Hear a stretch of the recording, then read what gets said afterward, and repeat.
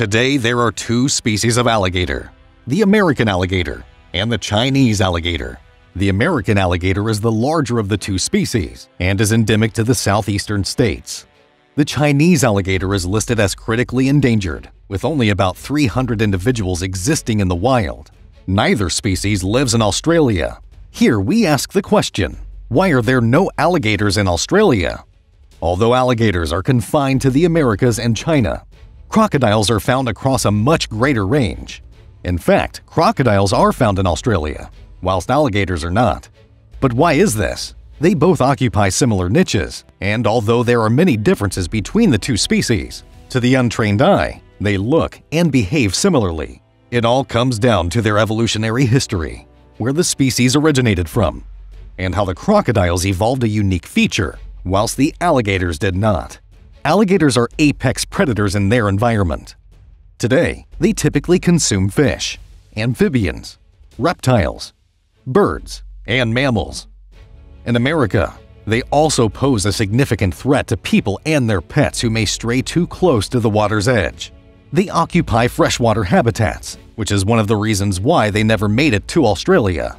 While the crocodiliform lineage extends back over 200 million years to the late Triassic, modern forms did not appear on the scene until the Cretaceous. This was around 145 million years ago, and fossil evidence suggests that these modern crocodilians first appeared in what would become known as Europe. From there, they then spread to the Americas and beyond. At the time, the landmasses and continents were very different from today. Eurasia and North America formed a northern supercontinent called Laurasia. Animals could move freely across this enormous landmass, which was separated from the other large landmass called Gondwana. This was more southerly and consisted of modern-day continents of South America, Africa, Antarctica, and Australia. The Cretaceous periods went through a huge amount of geological and climatic change. The land masses were breaking apart and moving. Oceans were forming, and this was having a massive impact on life on Earth. By the late Cretaceous, North America was split in half, the west from the east. India moved northwards towards Asia, and Australia and Antarctica remained connected, drifting away from South America and Africa. The crocodilians were already thriving on the planet. They were wide and varied in their size, shape, and the niches they occupied. One of the largest known species was Sarcosuchus, which measured 9.5 meters, or 31 feet long, and weighed up to 4 tons. It lived 130 million years ago and likely lived in freshwater habitats. But as the land masses and continents broke up and drifted apart, animals that once covered a large global range became more isolated. This is what initially happened to the crocodilians. In North America, crocodiles and alligators split from each other around 80 million years ago. They both thrived in the climate of North America during the late Cretaceous. It was warmer than it is today, perfect for cold-blooded reptiles to survive in. Whilst both crocodiles and alligators lived side by side, that was soon to change as crocodiles could disperse. Whilst the alligator is just found in the US and China, crocodiles are found across a much broader global range. They live throughout the tropics in Africa, Asia, the Americas, and Australia. The ability of some of them to tolerate salt water has been the reason for them spreading across the world. Unlike alligators, saltwater crocodiles evolved salt glands and impermeable skin. So, even when the land masses split apart, isolating other species, the saltwater crocodile could still migrate from one continent to another. They can tolerate salinity from 0 to 60% without any adverse effects. In comparison, alligators cannot survive in any saltwater for any great length of time. The extra-renal salt-secreting glands in the saltwater crocodile are located on their tongue. There are 20 to 40 pores on the tongue, through which they excrete excess sodium chloride, enabling the crocodiles to control their blood salt levels even in the open sea. Being able to survive in salt water meant that the crocodiles could traverse the open oceans. They could cross between the continents and dominate new lands. Even today, they are known to travel for hundreds of miles across open seawater, using the currents to help them swim such great distances to find new hunting grounds and territories. Being cold-blooded reptiles, they could go for weeks or even months without eating anything. This allowed them to travel far, without the need for stopping to hunt. The alligators that remained in North America then evolved and diverged into other species. Between 55 and 65 million years ago, caimans split from alligators and headed south. The other species of alligator, the Chinese alligator, split from the American one around 33 million years ago. This species is thought to have made it across to China, not by swimming in the open sea, but by crossing the Bering Land Bridge like so many other animals at the time.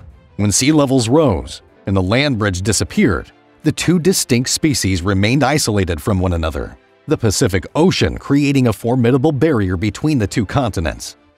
The Chinese alligator once thrived in China.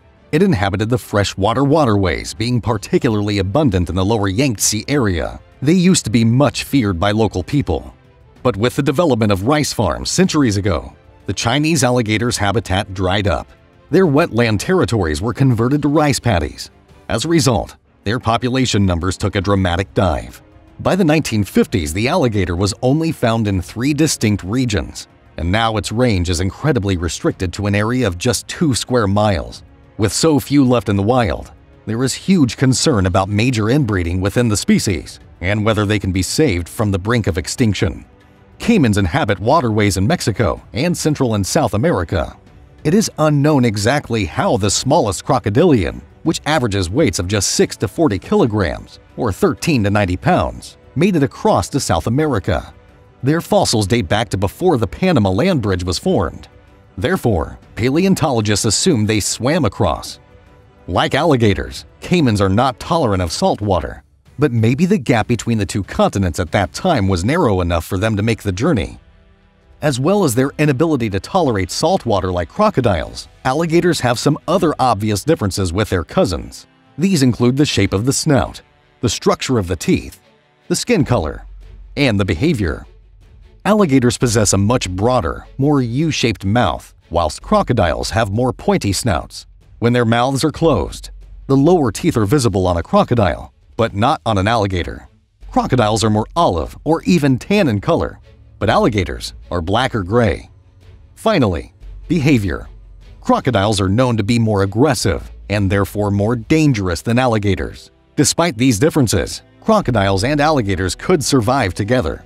There is one place on Earth where they do still live side by side, and that is in North America.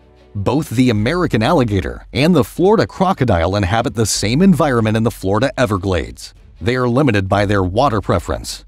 The alligator inhabits freshwater lakes, swamps, and ponds, whilst the crocodile invariably lives in saltwater rivers and waterways. This means that if alligators were introduced to the freshwater ecosystems of Australia, then they would likely survive. They would probably compete with the crocodilians already there, though.